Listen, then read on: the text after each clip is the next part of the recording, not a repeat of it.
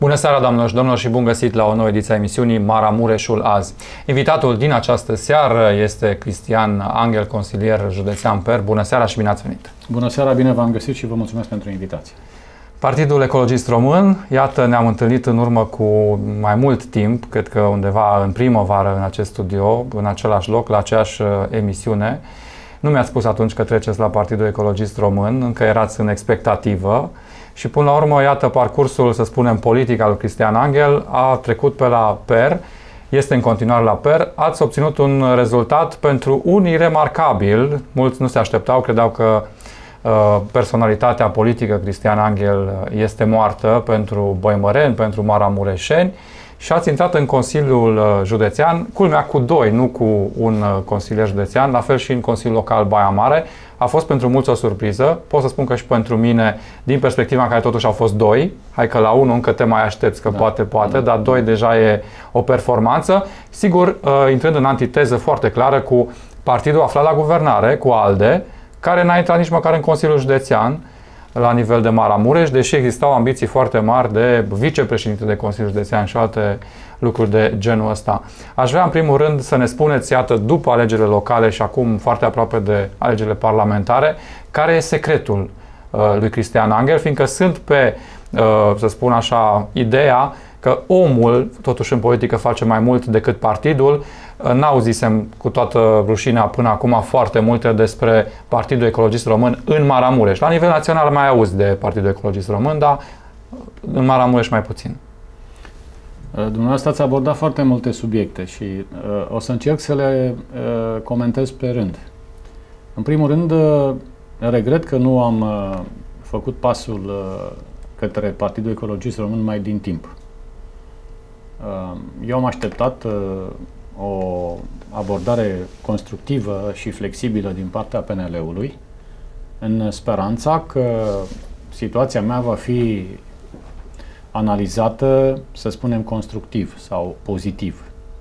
Nu vin aici cu tot felul de argumente, pot să aduc două, trei și cu asta mă opresc. La mine a fost vorba de corupție. Doi, fapta s-a consumat și am plătit pentru asta. Uh, trei, credeam că mai reprezint încă un uh, simbol pentru liberalii din uh, Maramureș. Am așteptat și acest lucru ne-a scăzut un pic șansele noastre ca partid ecologist român. Pentru că dacă aș fi început cu un an înainte campania de structurarea organizațiilor PER la nivelul Maramureșului, am fi avut rezultate și mai bune, cred eu. Și vă spun acest lucru din experiență proprie, pentru că au fost trei luni și jumătate foarte pline, cu deplasări multe și consistente în teritoriu, unde am plecat de multe ori de la zero. Deci noi am plecat de la 20 de organizații constituite și am închis să spunem, până la alegerile locale cu uh, 60, aproape de 60. Asta a însemnat o muncă în care să găsim oameni în fiecare uh, comună, oraș, unde nu aveam organizații. Uh, în al doilea rând, să găsim candidați potenți pentru Consiliul Local și ca să sprijine și lista de Consiliu Județean. Deci a fost o muncă foarte serioasă. Uh, sincer vă spun, chiar dacă sunt o persoană destul de uh, Uh, meticuloasă și, și conștiincioasă, uh, n-am crezut că este atât de muncă.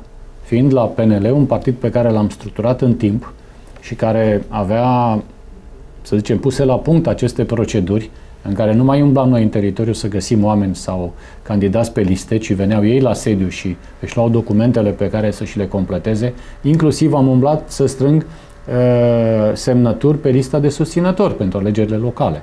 Adică a fost o muncă uh, destul de dificilă, dar a fost cumva avantajoasă pentru că oamenii cu care am discutat în acea perioadă au rămas uh, aproape și comunicând cu ei în mod direct am avut și eu și partidul de câștigat. Rezultatul uh, putea fi și mai bun dacă aveam în două, trei locuri inspirație, puteam să obținem chiar trei consilieri județeni și atunci exista șansa de a obține un vicepreședinte. La nivel de Baia Mare a fost uh, o campanie care ne-a dezavantajat prin faptul că a fost respinsă candidatura persoanei din partea PR-ului pentru primăria Baia Mare pe un motiv de procedură, adică listele de susținători pe care le-am strâns pentru candidata noastră nu au avut trecut în stânga numele candidate. Lucrul ăsta nu ni s-a spus când am mers să depunem dosarele și ne-am trezit că am fost respinși. E adevărat că și Per Central are o anumită vină în chestia asta, pentru că formularele tip pe care le-am primit de la București nu aveau rubrică unde să scrie numele candidatului puncte, puncte să completăm. Deci pe undeva greșeala a fost, să zicem, uh, a noastră și a celor de la București. Faptul că n-am avut candidat la primărie, cred că ne-a privat de anumite uh, uh, voturi în plus. Uh, iar asta cred că a ajutat alte partide, sau mai corect, alți candidați la primărie. Nu doresc să comentez pe cine și cum, pentru că nu vreau să uh, creez uh, probleme. În acest context, noi ne-am luat uh, crucea, ne-am dus-o și am reușit să obținem un rezultat, zic eu, bun în Maramureș, în condițiile în care în Baia Mare am bătut PMP-ul cu trei voturi, e adevărat, dar am câștigat față de PMP. Deci în Baia Mare, după coaliție PSD și PNL, suntem noi. Iar în județ am reușit să avem uh, aproape 2000 de voturi mai mult decât UDMR-ul, ceea ce înseamnă ceva, având în vedere procentul de etnici maghiari din județul Maramureș. Uh, surpriza noastră a fost că uh, numărul de voturi sau sufragiu pentru lista de Consiliu a fost mai mare în aproape toate situațiile decât cea pentru Consiliul Local, unde am avut candidați direcți. Deci pe undeva asta spune că populația încearcă să susțină la nivel politic PERU. Pentru că votul din Consiliul Județean e în general un vot politic. Acolo este o listă de persoane, se votează practic partidul. Acest lucru ne dă nouă cumva o speranță pentru alegerile parlamentare, pentru că dacă votul politic a fost superior celui la nivel local, pe o campanie bună și nu mai plecăm acum de la zero, ci plecăm de pe un anumit statut pe care îl avem, să încercăm să maximizăm în continuare numărul de voturi. Da, n-aș vrea să trecem la parlamentare până când nu ne lămuriți da, da, da, da, da. cu alte subiecte. Unul uh, le-a spus că dumneavoastră nu ați fost uh, condamnat pentru corupție. Lămuriți puțin uh, afirmația aceasta. Da, fapta numită abuz în serviciu, de care și dumneavoastră cunoașteți, asta este singura acuzație la mine, abuz în serviciu. Și ea este prevăzută în codul penal la infracțiuni de serviciu, care reprezintă un alt capitol față de infracțiune de corupție. Iar abuzul în serviciu știți că a fost uh, uh, analizat la Curtea Constituțională și parțial dezincriminat în sensul în care uh, recomandarea de modificare a legislației este ca abuzul în serviciu să existe atunci când este uh, o încălcare a legii. În cazul meu, uh, în niciun document al DNA-ului, mă refer la cei care au acuzat, nu la judecător, dar cel mai grav posibil, uh, nu este specificat faptul că s-a încălcat legea privind achiziția acelui bloc. Deci aici eu ca și primar aveam uh, calitatea, dreptul și obligația, susțin, de a propune Consiliul Local un proiect de hotărâre prin care să achiziționăm acel bloc în care să rămână 100 de familii sau câte erau acolo. Asta a fost logica. Contractul de vânzare-cumpărare s-a considerat că este perfect legal, n-a fost atacat de DNA de nimeni, și toate s-au uh, derulat ca atare. Uh, reproșul a fost că acel bloc s-a cumpărat mai scump decât îl cumpărase cel dinaintea noastră. Iar asta este o chestiune de oportunitate și de natură financiară care aparține în exclusivitate Consiliului Local, ca uh, entitate decisivă care are dreptul de vot. Deci asta am vrut să vă spun eu. În momentul de față, cred că dacă ar intra în vigoare noua recomandare a Curții Constituționale, uh, în cazul meu, ne, încălcându-se legea sub nicio formă, nici știu dacă mai puteam fi încadrat undeva. Și doi, uh, în tot rechizitorul DNA-ului, care are cam 200 de pagini, nu se scrie nicăieri un singur cuvânt că eu am primit sau am luat vreun leu. Deci nu există asemenea acuzații.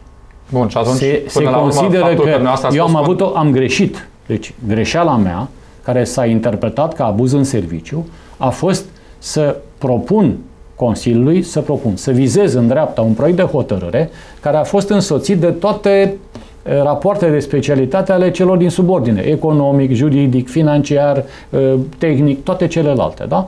Deci, practic, semnătura mea de a viza să intre acest proiect în Consiliu, votat în unanimitate de consilieri, a condus, cum spune DNA-ul, la un anumit prejudiciu. Deci a fost o greșeală.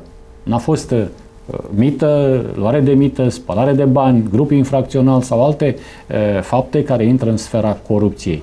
Uh, e adevărat că anumite persoane care doresc să uh, mă acuze în continuare, folosesc aici cuvântul corupție, dar nu este corect. Ca să fim corecți, aceste fapte, abuzul în serviciu, se consideră o faptă asimilată cererii de corupție prin codul penal, dar nu este faptă de corupție. Corupție știți ce înseamnă? Corupătorul și coruptul. Adică, într-un fel, cine dă, cine primește sau, eu știu, alte asemenea chestiuni. Da, am vorbit uh, despre alegeri, spuneați că se apropie parlamentarele. Care sunt intențiile Partidului Ecologist uh, Român la alegerile parlamentare? Uh, nu știu dacă n-a trecut chiar data până la care se puteau face alianțe sau uniuni electorale. Lucrurile sunt destul de complicate. În momentul de față, vedeți ce viață politică tensionată trăim. Astăzi s-a mai produs o demisie ieri au fost alte. O să avem asemenea bombe care ne vor ține în permanență atenția trează. Noi, ca și partid, am greșit la alegerile locale în sensul în care nu am avut la nivelul țării liste depuse în toate unitățile administrativ-teritoriale și în toate județele. Dacă vă spun că noi am avut liste de Consiliul Județean depuse în 9 județe din 41, asta înseamnă ceva. Pentru că am văduvit populația care, din celelalte 32 de județe, care ar fi vrut să voteze Peru pentru Consiliul Județean, nu au avut cu cine să voteze, că nu au fost liste. Asta înseamnă că nu este uh, o structură de organizare care să acopere întreg teritoriul și la asta lucrăm acum. Uh, numărul de OAT-uri în care am depus noi a fost vreo 300 și ceva din 3000. Față de PMP uh, care a depus în 1800 și ceva de OAT-uri. Am dat un exemplu, fără să fac o comparație directă. Și și așa, dacă ne-am făcut o socoteală vis-a-vis de rezultatele obținute în cele 9 județe în care am depus liste, aici eram aproape de 5%. Uh, ceea ce ne dă o speranță pentru aceste alegeri. S-au încercat discuții pentru că, din punctul nostru de vedere, și președintele de la București, domnul Pop Dănuț, și cu mine, care sunt prim vicepreședinte, am apreciat că soluția cea mai bună este să facem o alianță electorală cu unul din cele două mari, adică PSD-ul sau PNL-ul, pe care nu-i afectează un plus de 2 sau 3% la pragul electoral. PNL-ul ne-a închis da, ușa de la început. să ajute la S-ar putea să ajute, guvernului. sigur că da, sigur. Uh, PNL-ul a închis ușile de la început pentru că ei și-au votat în luna iulie sau iunie, iulie, după alegeri locale, în biroul național uh, o hotărâre că nu fac alianțe electorale înainte de alegeri. Și atunci lucrurile s-au cam închis. Asta presupunea ca uh, să ofere câteva locuri eligibile pe lista PNL-ului pentru niște persoane din PER. Ceea ce nu s-a acceptat pentru că atunci însemna să, uh, dacă ar fi intrat acele persoane în PNL, nu mai erau membri PER. Sau dacă partidul ar fi fuzionat cu PNL-ul, își pierdea identitatea. Ori Partidul Ecologist Român, chiar dacă sunt un membru foarte uh, tânăr, să zic așa, sub un an, din februarie anul acesta, este cel mai vechi partid creat în România. Este din 90, uh, ianuarie 90. Uh, era păcat, pentru că are o istorie, așa cum este ea. O istorie destul Chiar de... dacă nu e una, să spunem, exact. Uh, foarte Cu rezultate extraordinare, cu... Asta este. În acest context s-a discutat și cu PSD-ul și la un moment dat existau niște variante de colaborare. Nu știu, da, nu s-a încheiat încă nimic. Se pare că vom merge singuri, Asta este ceea ce știu în momentul de față. Este și o declarație oficială a președintelui de la București, ceea ce implică o responsabilitate cresca, crescută în sensul în care să ne uh, motivăm să facem acel prag electoral de 5%. dacă reușim să facem pragul electoral de 5%, eu sunt convins că în Maramureș uh, vom avea un rest care să uh, asigure un loc de, de deputat, deci un loc în Camera Deputaților. Da, aveți organizarea în plan național în așa fel realizată la ora actuală pentru a se face pragul de 5%? În momentul de față, din câte știu eu, s-a plecat pe acest drum. Există persoane care doresc să candideze și ar trebui să fie în fiecare județ, nu ne ar trebui să avem listă în fiecare județ. În momentul acela am putea da uh, posibilitatea celor care doresc să voteze Peru să, Peru să vină la vot. Mai mult decât atât, uh, există și o, un fel de șansă, să spunem așa, pentru că nu toți actualii parlamentari sau foști parlamentari încap pe listele celor două mari. Și atunci evident că există, va fi un flux de uh, oameni, uh, de politicieni, uh, într-o parte sau alta. Orice persoană deci care... mizați și pe uh, cei care se numesc da, până la urmă de către presă nu, traseiști nu, politici. Nu le spunem traseiști, uh, depinde. Uh, poate că sunt persoane care au fost într-un singur partid. Și atunci mutarea de, dintr-un loc într-altul nu putem să-i spunem chiar că este traseism. Dar orice persoană care îți vine în partid îți aduce un număr de voturi. Și acest număr de voturi se contabilizează. Deci îți trebuie, în funcție de prezența la vot, un număr de voturi la nivel național ca să-ți asigure acel 5%. E Asta o bătălie e destul de mare între partidele, să spunem, ceva mai mici. Există da, PMP-ul, ex, da, există, uh, există ALDE care e și la guvernare. Mie îmi pare rău de ALDE pentru că Maramureș n-a reușit să facă pragul electoral. Uh, în momentul în care s-a constituit, uh, avea totuși o bază mult mai bună decât a noastră. Uh, plecau la drum cu cinci primari, aveau deputat, au deputat, acum nu, în Parlamentul României, aveau structuri, dar și acolo au fost probleme și cane, că și la noi au venit câțiva de la ALDE. În definitiv, dacă omul vrea să vină, de ce să nu-l primești? Orice om care vine este util, uh, îl responsabilizezi să-și facă treaba, nimeni nu vine obligat, vine prin voință proprie, și când ești în construcție sau pleci de la un nivel destul de jos, ești bucuros dacă îți vin oameni la partid, e mai greu să faci selecție. În momentul în care ajungi la un anumit nivel uh, de organizare în teritoriu, pui niște criterii, dar până atunci trebuie să strângi, să aduni. Suntem în această fază. De altfel, noi suntem într-o campanie electorală continuă. Eu, practic, de 5 ani de zile am făcut tot campanii. Uh, și asta m-a durut pe mine pentru că am fost foarte bun în perioada cât funcționa USL-ul, da? După care n-am mai eh, corespuns criteriul de integritate pe care l-a impus PNL-ul. Adică am fost director de campanie la domnul Florin Tătaru și a ajuns deputat, am fost uh, director de campanie la Cicer Zanfir și a ieșit președinte Consiliului Județean. În uh, parlamentarii 2012 am coordonat uh, șase, șase candidați care toți au făcut peste 50%. Am coordonat mai mult sau mai puțin. De unii m-am ocupat direct, cu alții am schimbat uh, uh, impresii și, și, și uh, am dat sugestii despre campanie și am mai făcut campanie pentru ei. Adică eu mi-am văzut de treabă și dacă nu puteam să candidez, pentru că eu în 2012 n-am avut voie să candidez uh, pentru că am avut 2 ani de interdicție. Acum mi-au expirat am, toate am aceste găsit interdicții. și declarația domnului președinte Per Dănuț Pop, care spune Partidul Ecologist Român alege să meargă singur în alegeri. Ne-am propus o țintă de minim 7%. Suntem convinși că sunt, putem obține acest scor, suntem pregătiți să-l obținem și credem că alegătorii ne vor susține. A spune o țintă ambițioasă, 7%. Da, este, este un proiect ambițios, național. dar ca să poți să realizezi ceva, trebuie să fixezi niște obiective. Aș reveni în schimb la alegerile locale și la rezultatul obținut de PER. Sunteți convins că ați fi obținut același rezultat de doi consilieri la Consiliul Județean, doi la Consiliul Local Baia Mare, dacă uh, ar fi fost, să spunem, o mai mare prezență la vot în Maramureș și în Baia Mare? Nu pot să spun treaba aceasta pentru că lucrurile se merg cam proporțional, adică uh, speranța fiecărui partid este să vină cât mai puțini la vot, dar cât mai mulți de-ai lui. Nucleul dur, cum exact, se spune. Da. Exact. Da. În contextul în care uh, există Uh, cele două partide cu structura clar organizată și care pleacă de la un procent sau un număr minim, e greu să tu trebuie să cauți alții.